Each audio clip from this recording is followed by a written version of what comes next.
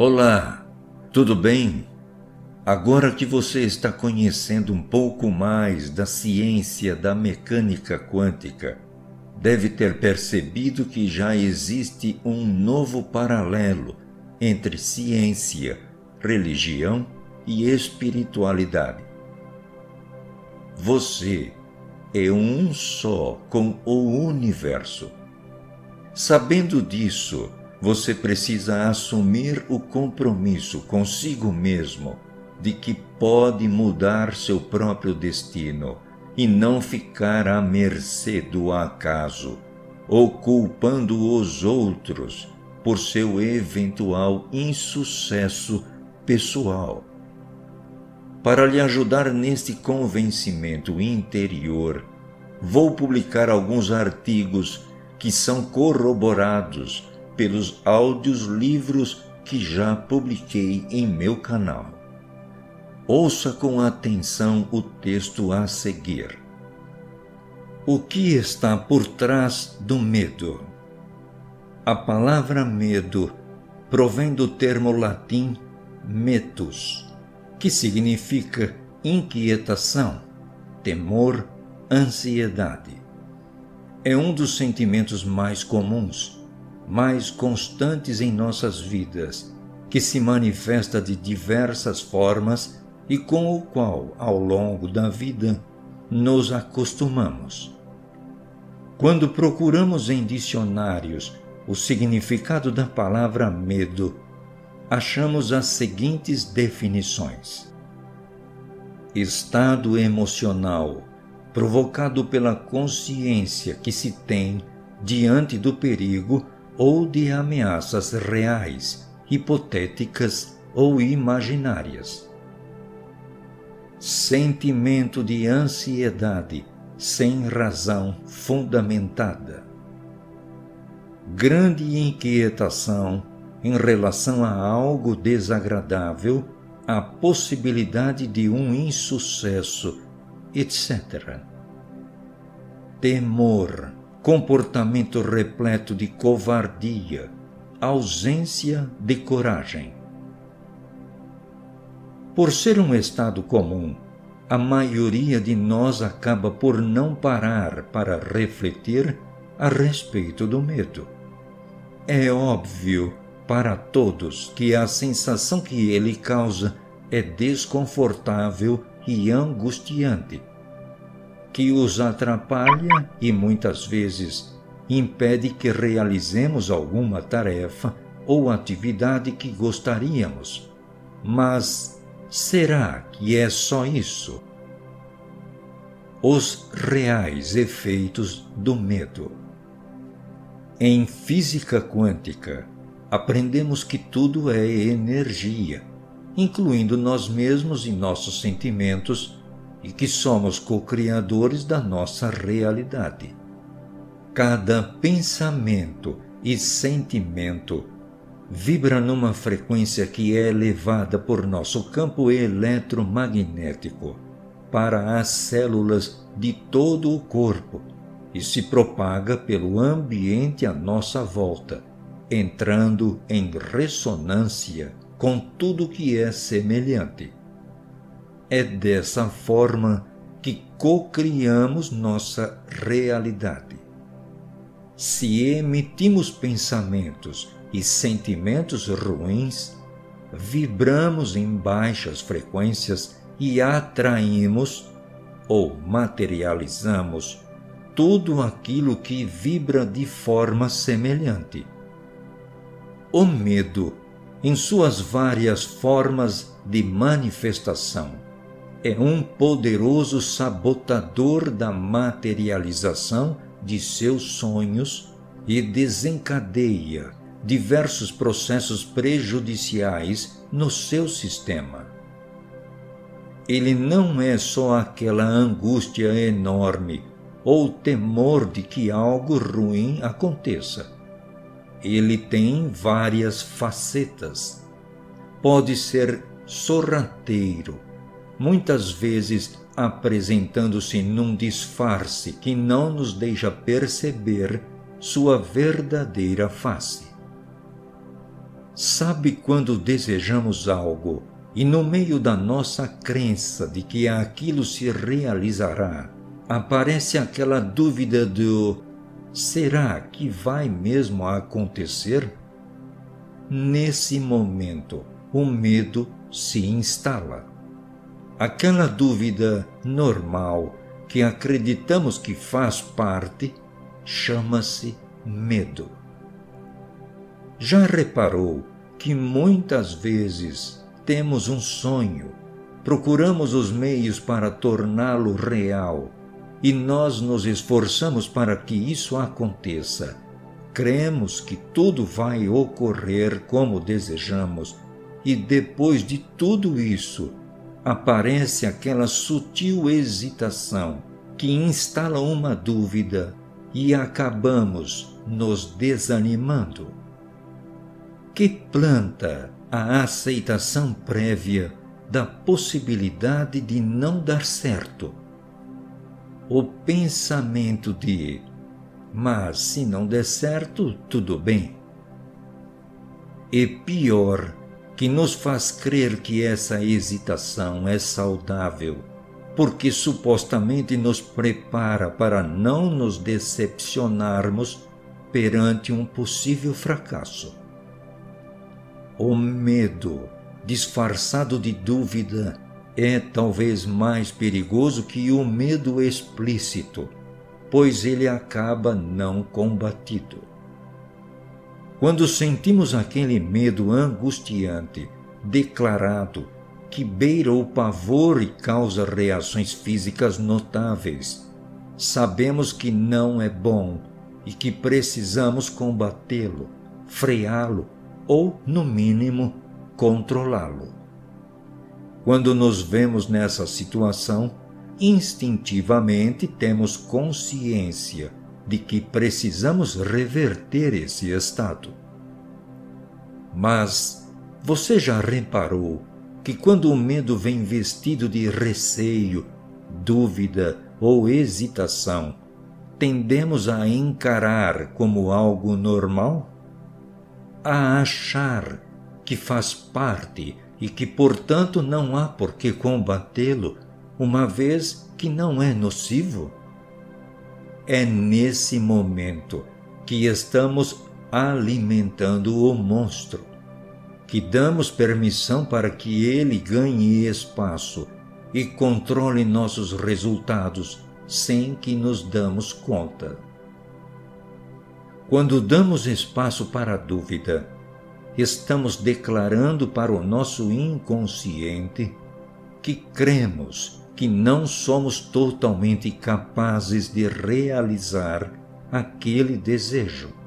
E sabe qual é o perigo disso? O inconsciente ou subconsciente é como se fosse nossa caixa preta e é ele que controla o seu piloto automático através de tudo que tem armazenado nele. Ele é programado para reconhecer e atrair tudo que lhe é familiar e não consegue distinguir o que é real do que é imaginário. Ou seja, tudo que você pensa ou crê ser possível para a mente é real, inclusive o fracasso. Quando você acredita nisso, sua mente envia, através de seu campo eletromagnético, para todo o seu corpo e ambiente à sua volta, a vibração dessa informação sintonizando, atraindo e materializando aquilo que vibra na mesma frequência. Ou seja, se você pensa e vibra na possibilidade do fracasso, você atrai o fracasso. Entende agora o que acontece quando você se permite ter aquela dúvida normal, aquele receio inofensivo ansiedade. Uma outra forma comum de medo igualmente nociva é a ansiedade. Mas como assim? Ansiedade não seria o anseio para que algo aconteça logo, porque temos a certeza de que acontecerá? Não. Quando temos a plena certeza de algo, sem dúvidas ou receios, não nos sentimos ansiosos.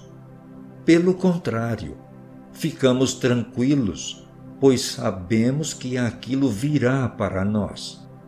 É o que chamamos de soltar. Quando você tem consciência do seu potencial co-criador, da sua natureza divina, você não tem por que sentir preocupação ou ansiedade. Você simplesmente deseja, age para que se realize e solta. Porque você tem certeza de que aquilo virá no momento apropriado e consegue sentir que aquilo já é real e será acessado no momento propício. Crenças limitantes.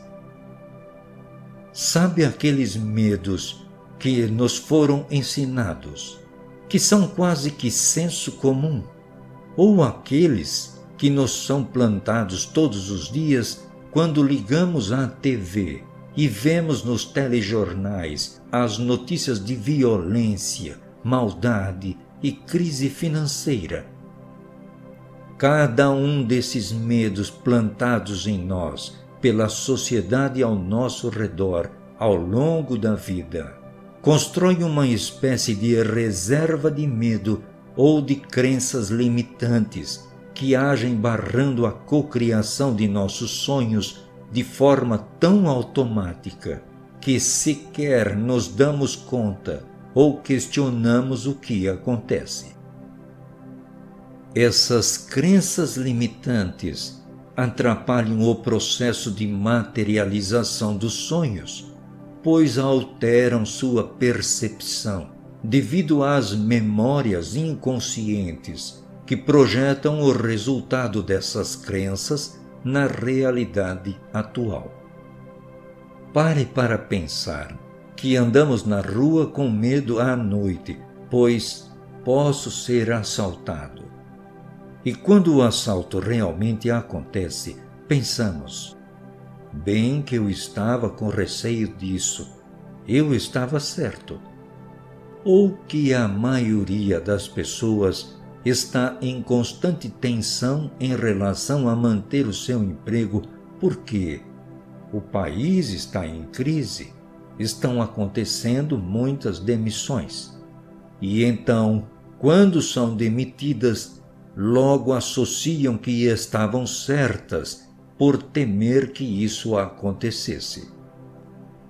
Percebe que o subconsciente já estava programado para sintonizar na frequência dessas crenças e, consequentemente, atraí-las, sem que a pessoa se dê conta de que ela tem responsabilidade sobre a ocorrência dos fatos que temia? Isso ocorre o tempo todo em nossas vidas, por causa de medos plantados, muitas vezes desde a infância. Não deixe que o medo congele a cocriação.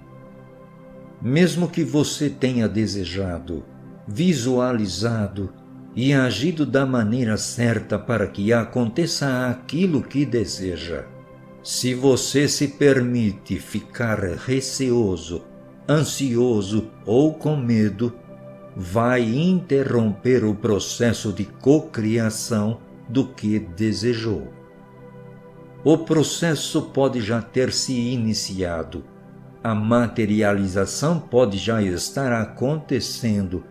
Mas se você der espaço para esses sentimentos, será interrompido e você terá que realinhar tudo para iniciar novamente a realização. sua realidade vibra na polaridade da informação dada pelo seu inconsciente. Quando se permite sentir qualquer tipo de medo, você baixa sua frequência no meio do processo e impede que o seu desejo se realize. Congela o processo de manifestação daquilo que deseja. Quando ocorre esse congelamento, todo o esforço que havia feito para tornar real o que desejava é anulado. Em outras palavras, você descolapsou a função de onda.